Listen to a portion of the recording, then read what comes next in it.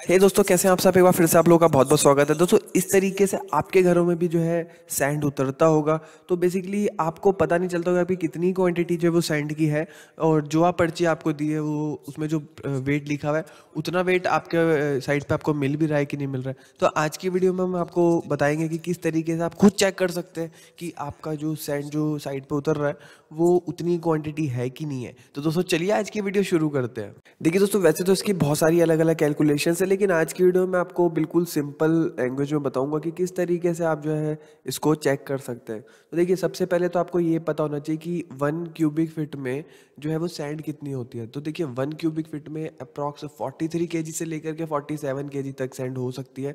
वो डिपेंड करते हैं कि आपकी सैंड जो है वो कितनी ड्राई है और कितनी वेट है। तो आप मोटा मोटा मान के चलिए कि फोर्टी फोर जो सैंड है वो वन क्यूबिक फिट में होती है। फिर दोस्तों, कई लोग आपको कहते हैं कि आप ट्रॉली का साइज़ को मेज़र कर लीजिए उसकी लंबाई, चौड़ाई और हाइट जितनी है और उसको मल्टीप्लाई करके आप जो क्यूबिक फीट में कन्वर्ट करके इससे आप मल्टीप्लाई कर देंगे तो आपको वैल्यू पता चल जाएगी लेकिन एक्चुअल में जो सैंड की जो क्वांटिटी होती है, वो बिल्कुल भी जो है एग्जैक्ट नहीं होती ट्रॉली में कि बिल्कुल ही जो ट्रॉली के हिसाब से हो। वो ट्रॉली से या तो थोड़ी सी कम होगी या ट्रॉली से थोड़ी ज़्यादा होगी।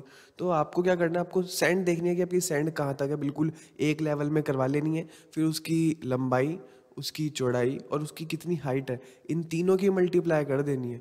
और तीनों की जब आप मल्टीप्लाई करेंगे, जैसे कि आप एग्जांपल देख रहे हैं, तीनों की मल्टीप्लाई करके आपको वैल्यू जो क्यूबिक फिट में मिल जाएगी।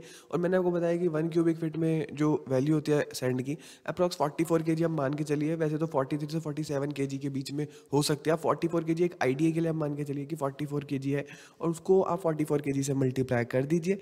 और फोर्टी फोर के जी से जब आप मल्टीप्लाई करेंगे तो आपके पास जो है अप्रॉक्स जो है सैंड की क्वान्टिटी आ जाएगी। उससे आपको एक आइडिया लग जाएगा। अगर वो चोरी भी अगर करता है बंदा तो थोड़ा बहुत उन्नीस, इक्कीस तो चल जाएगा, लेकिन अगर मोटी चोरी करिए तो आप एग्जैक्टली exactly खुद पकड़ सकते हैं बिना वज़न को कराए। तो दोस्तों, इस तरीके से आप जो है खुद चेक कर सकते हैं कि आपकी सैंड की क्वांटिटी जो है वो साइड पे आ रही है कि नहीं आ रही है, जितना कि आपकी पर्ची में लिखा हुआ है। तो दोस्तों, आशा करता हूँ कि आपको मेरी ये जो वीडियो अच्छी लगी होगी, अच्छी लगी तो उसको लाइक कर सकते हैं और अगर आपका कोई भी क्वेश्चन इस टॉपिक रिगार्डिंग तो आप नीचे कमेंट बॉक्स में पूछ सकते हैं। मेरी वीडियो देखने के लिए बहुत बहुत धन्यवाद। जय हिंद, वंदे मातरम।